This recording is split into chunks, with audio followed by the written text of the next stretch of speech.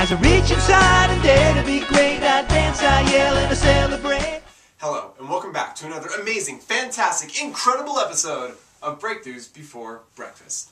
My name is Andrew the Great, and this week we're going to be discussing how to apply military principles into your business.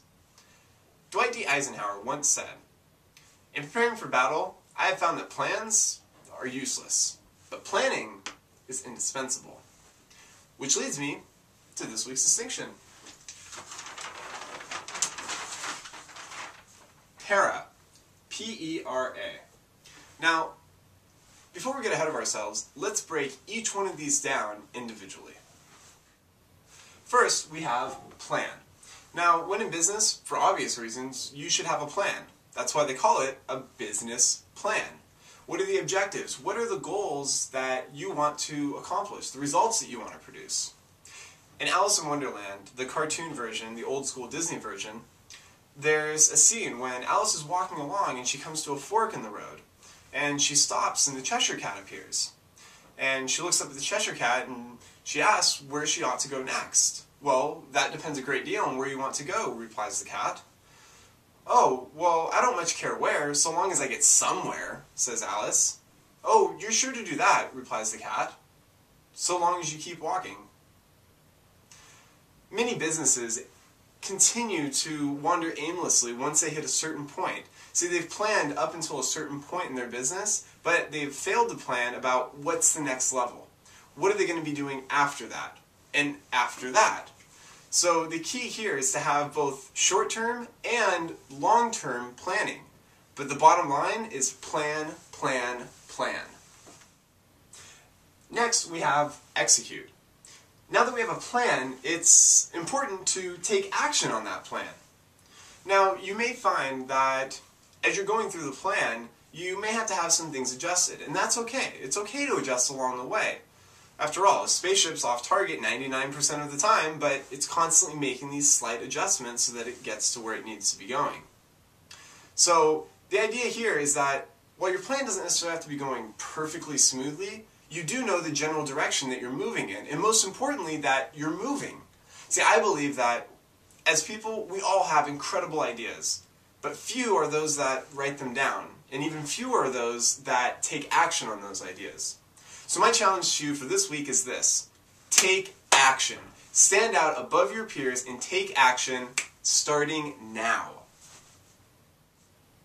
So, now that we've made a plan and we've taken action on that plan, it's time to review. Now, odd as this may sound, this is probably one of the most underutilized principles in business and one of the most commonly used principles in high-level athletics. Review, review, review. Review the execution. What worked, what didn't work, what needs to be improved upon, and what needs to be taken out entirely. The key here is about reviewing every single thing that you can so you can improve the most possible for the next time that you take action. Lastly, we have action. After you, after you re reviewed and compared the plan to the execution, you now have a great framework for setting up your next plan, allowing the next execution and the next review to be better and better and better with each cycle. Isn't it funny how all these things tie together? If you're the captain of your business, run a tight ship. That's what this week's world leader would have done, just as he did in World War I and World War II, where he was the first military personnel to be assigned to the U.S. Tank Division. One of the greatest military generals of all time, General George S. Patton. George Patton was born November 11, 1885, and died December 21, 1945. Patton was a four-star general of the U.S. Army who was an outstanding practitioner of mobile tank warfare in the European and Mediterranean theaters during World War II. His strict discipline, toughness, and self-sacrifice elicited exceptional pride within his ranks, and the general was colorfully referred to as Old Blood and Guts by his men. A 1909 graduate of the U.S. Military Academy at West Point and a descendant of a Virginia family with a long mil military tradition, Patton became a keen student of the American Civil War, especially its great cavalry leaders, an interest that likely contributed to the st strategy of bold, highly mobile operations associated with his name.